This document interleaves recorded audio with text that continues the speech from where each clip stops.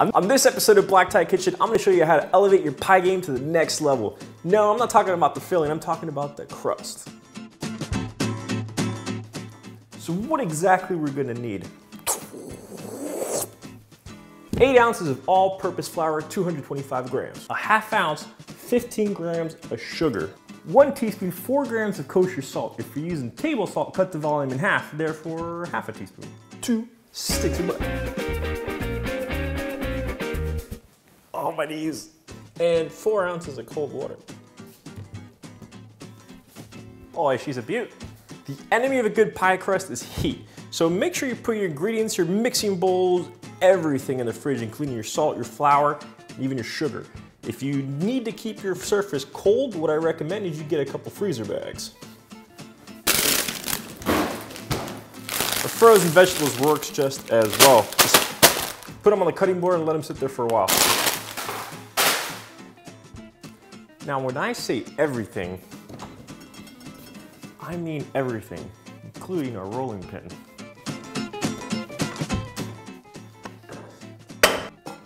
So we have our ingredients here, and the first thing we're gonna do is we're gonna cut the butter. Now, the butter, remember, you gotta keep it cold because this is the key to everything here. Make sure your house is cold, your cutting board is cold, everything. Why is this paper so difficult? I'm actually gonna get a piece of parchment paper. Pain in the ass to clean. Just one stick. There is the other stick. So first we're gonna do is we're gonna cut our butter lengthwise. And you'll see why in a second. And then here we're gonna cut lengthwise again. Lengthwise again. So now we can actually stack these, almost look like cheese sticks, and cut our half inch cubes like this.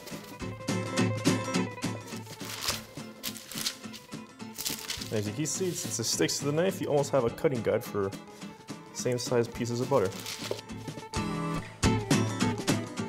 It's like a big old butter wall.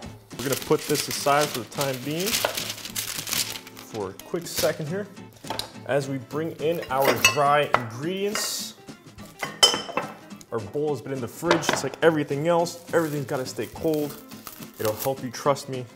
It cuts, the amount of time you have very minimal. Just work fast, work fast and efficiently. That's my sugar, this is my salt. I'm gonna add the flour.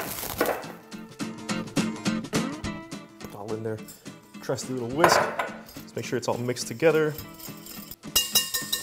Enough.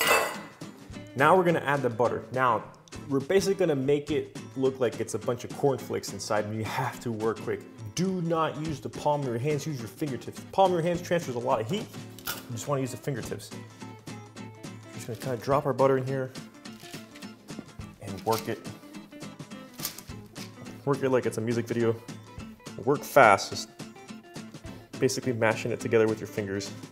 You almost just can take one and just smash it with your fingers. It's one of the best ways to do it. Just remember, don't use your palm of your hands because the palm of your hands are very hot.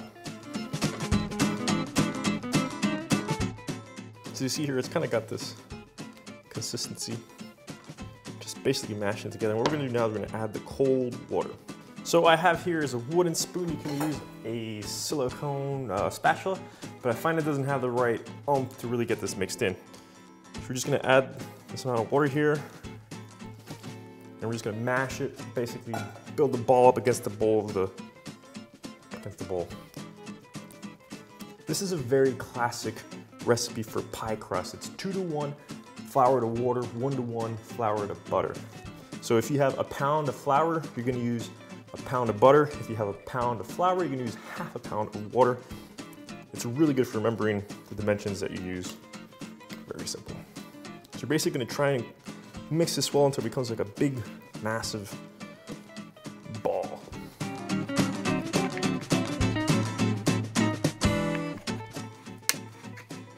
If it's a little bit too dry, just add a couple drops of water. If it's too wet, just add a little bit of flour to it.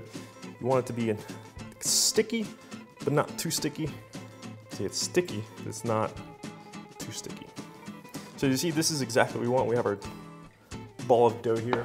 And we're gonna put it in the fridge about 30 minutes and let it cool off. Make sure it's right where we need it to be. You want it to be hard, but you don't want it to be so hard that when you roll it out, the edges basically uh, crack. So we're gonna put this in saran wrap over here. Nice airtight ball. Boom. Just gonna make this nice and tight. 30 minutes in the fridge and we'll be back. So we have our dough from the fridge. It's still cold, but it's still malleable. What we're gonna do is we're gonna roll it out with a rolling pin. Now I'm actually gonna roll it out on the counter. You can roll it on your cutting board. That's what you have. If you don't have the space. Ideally, you wanna have a piece of marble, but quite honestly, who has a piece of marble in their house? This is the pie container that we will be using to bake it in. It's a glass composite type of thing, Pyrex sort of thing. This is a nine and a half inch, nine, nine and a half inch is what we're aiming for. This conducts heat really well. It's preferred over the metal stuff, especially the 99 cent store stuff that you use. So what we're gonna do is we're gonna roll this out on our cutting board or my countertops, and we're gonna basically literally flour our cutting board. Countertop, countertop, not cutting board. Now what we're gonna do is as we roll it out, we're gonna keep checking make sure that it's not sticking. We also want to flour our rolling pin so it doesn't stick to this. I'm just gonna roll it out. We're gonna try and roll it out into a square.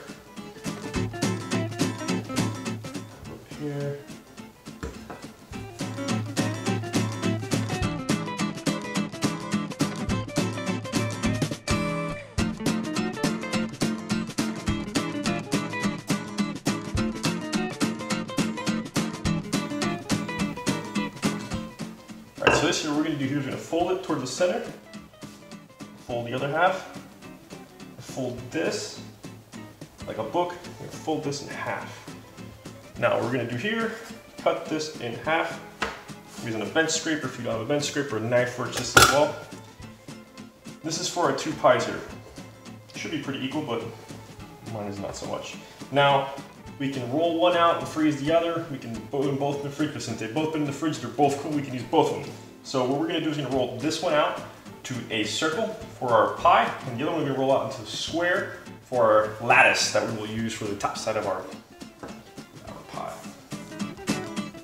So in the meantime, while I roll this one out, I'm actually gonna put this one into the fridge so it remains nice and cool.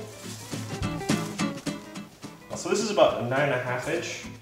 You want to get it to be about with an inch overlap over the sides, so probably between anywhere between 11 and 12. So like I said, remember keep watching, making sure that you don't need to add any flour at the bottom so it doesn't stick. Flour your rolling pin.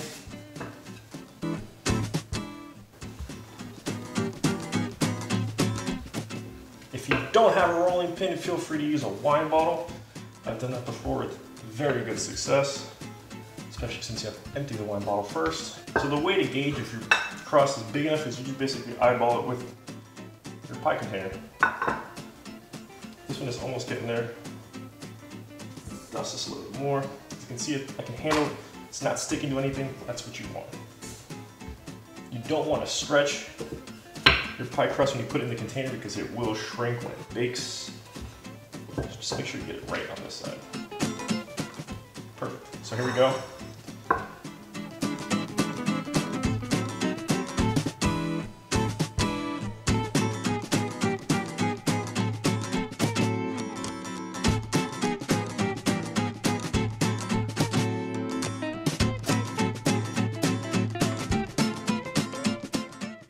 Want to drop it in to this, the shell here. As you can see, it's good. So what we're going to do is we're going to snip off the sides about an inch.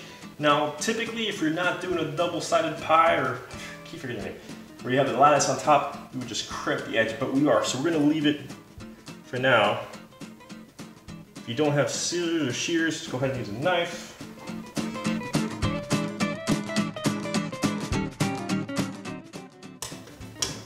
So if this wasn't pie, what we would do, if this wasn't double sided, what we would do is we'd be here, basically crimp it.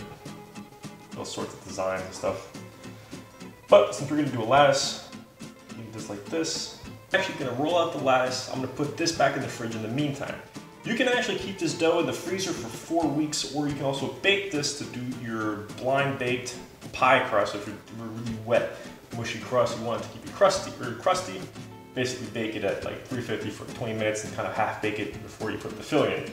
So this right now is good. This is exactly where we want, but we're gonna roll out our lattice and we're actually gonna get a pie filling. I'm gonna cover this with saran wrap, put it back to the fridge.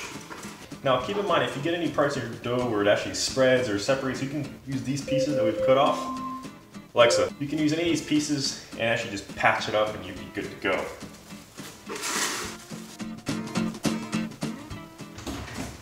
So now onto the lattice. We still have these bits here. We can actually use these again. Should flour this here before we start. Boom. Now for this, since we're gonna make the lattice, we basically want a square. Now there's flour everywhere. So I'm gonna flour cutting board. I'm gonna flour my rolling pin again. I'm just gonna try and roll out a square.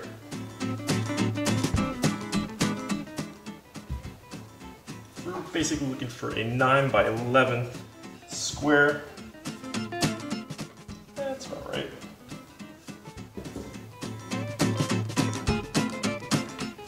And what we're going to do with this is we're going to get a cookie sheet and line it with parchment paper. And what this is going to do is basically eliminate any unsavory flavors or savory flavors that we might have on the cookie sheet.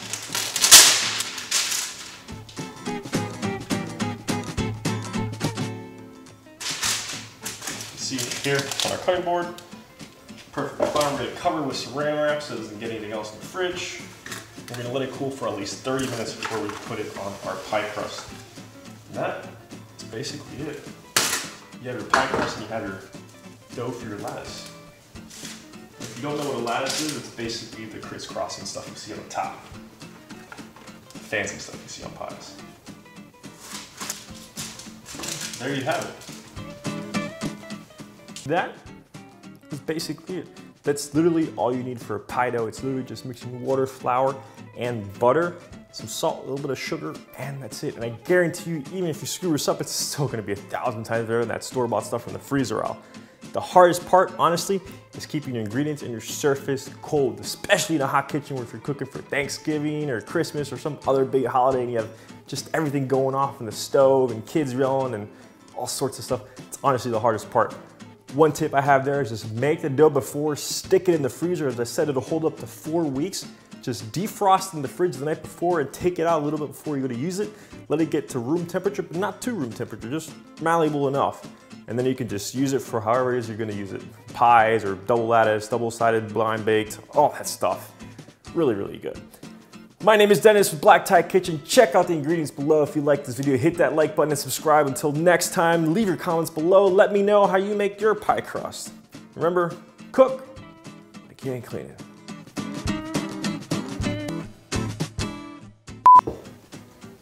other videos. so what is it we're gonna need in terms of ingredients?